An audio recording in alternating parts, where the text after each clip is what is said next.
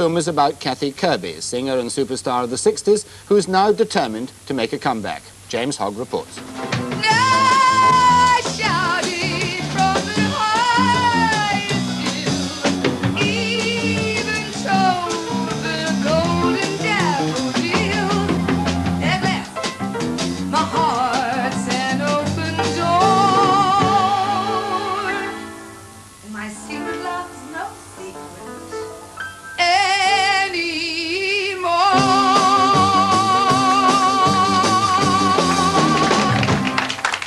Age of 42, Kathy Kirby, who could once fill the Albert Hall, sings to a small but appreciative audience in a gay club in Earl's Court.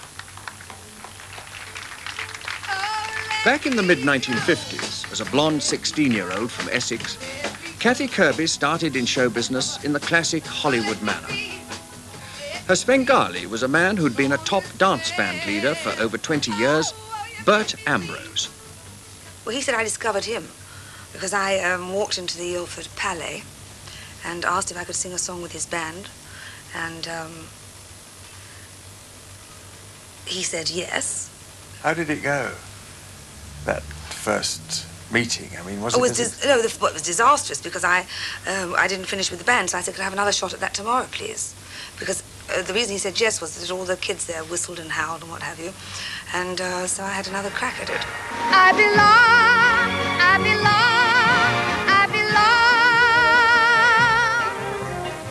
The second crack at it must have been better, because Ambrose immediately appointed himself her manager.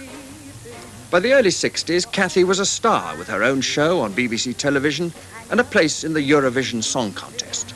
But now my heart has recovered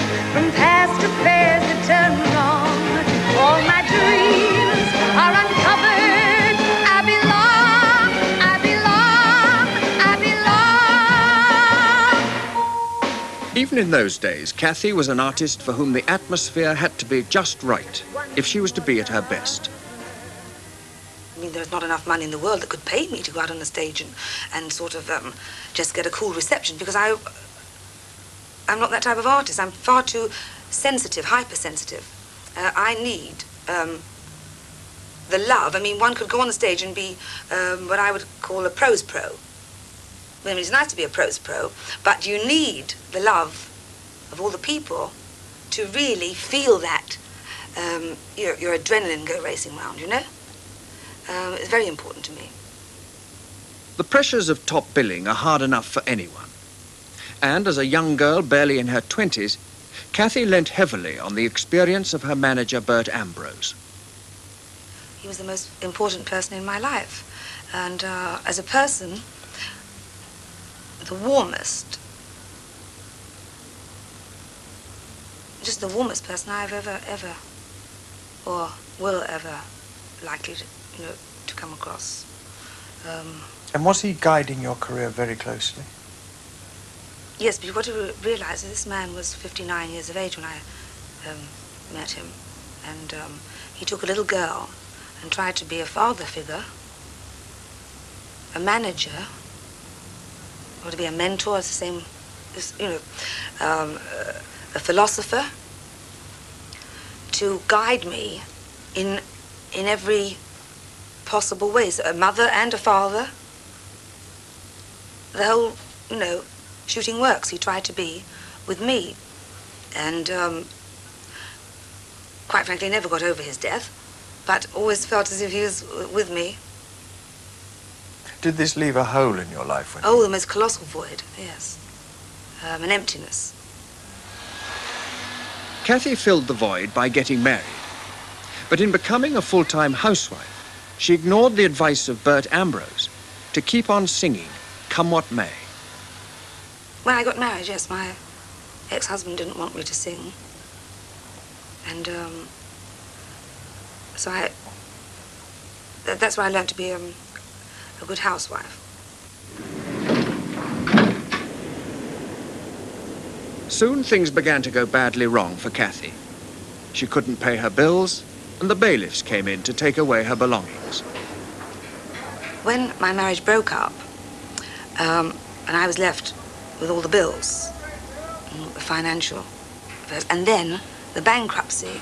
Instead of being able to just walk onto the stage and sing, I was left with sorting out all the affairs, all the accounts, and then the more I delved into my accounts, the more discrepancies I found.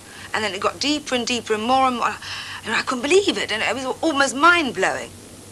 In 1978, Kathy ended up in court, facing bankruptcy proceedings. Actually, I'd never frequented any kind of court before in my life, and I found it, I found it actually quite terrifying. You know, I mean, I wasn't once, when one gets in there, it's like, um, like walking onto a stage, but no, not right walking onto a stage, because an audience paid money to walk in or, and sit down and hear you sing, and there's a love there. Um, but uh, I felt very insulted, well, naturally, that you're asked to go into a bankruptcy court and um, be tried, so to speak, when other people stolen your money and mishandled your money. I mean, it just doesn't, it just really doesn't add up and it doesn't make sense. There followed a period for Kathy when her career completely fell apart, and bad publicity seemed to haunt her. She finally ended up in a mental hospital, and there were rumors that she'd become an alcoholic. When you read those stories about yourself, were you well, sad? why sad? I was horrified that what horrified me most of all was that editors and journalists who were on a Christian name association with me didn't pick the phone up and say, Kathy, we can't print this. This can't be you. That would make more sense than say, you know, somebody with hearsay, we have heard this. Ah, but how do we know if we print this about Miss Kathy Kirby, we're going to get away with it? There, I must have had um, a vendetta, a very personal vendetta against me.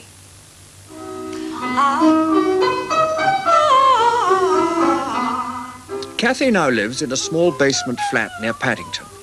Still in good voice, she keeps alive her hopes of a comeback. Her old hit, Secret Love, has been re-released, and she recently did a personal choice program for BBC Radio London.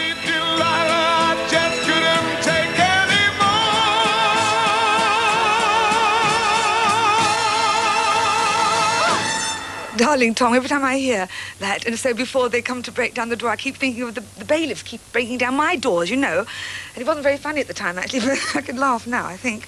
Anyhow, the next record I've chosen is myself. And I don't often do this. Well, I don't often do this either, do I? Um, but I was um, very, very pleased once when I turned the radio on at home and um, heard um, that the boys, uh, on, I think it was, well, one of the stations, uh, said that it was one of their favourite versions of um, Here, There and Everywhere. Nice.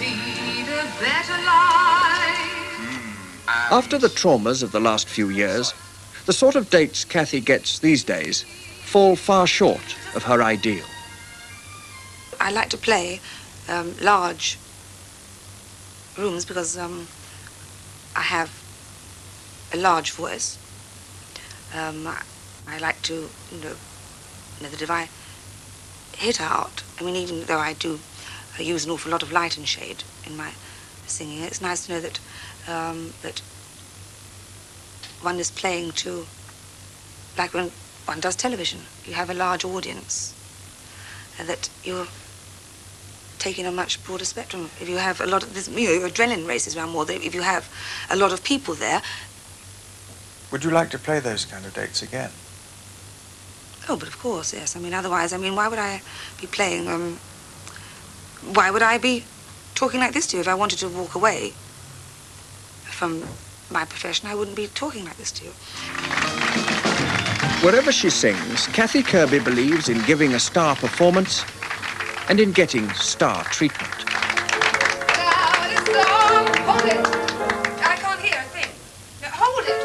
Hold it. Without a song, without a song. Is this the BBC? We can put the sound on, please. Where's the sound man? Could we put, you know, take the treble off the microphone? I sound like Pinky and Perky at the moment. Um, where's the sound man? Any lapse in the standards she was used to for so long is jumped on very firmly indeed.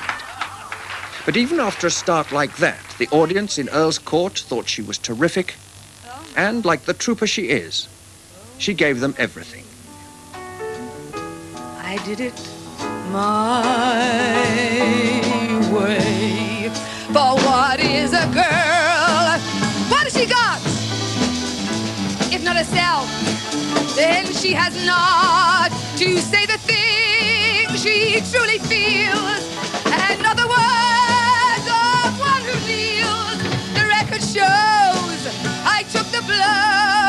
And did it my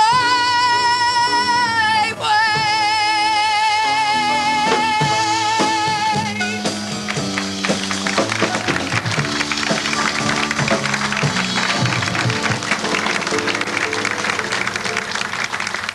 Good luck to Kathy Kirby.